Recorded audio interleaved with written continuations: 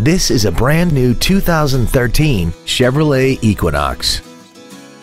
This crossover has an automatic transmission and an inline four-cylinder engine.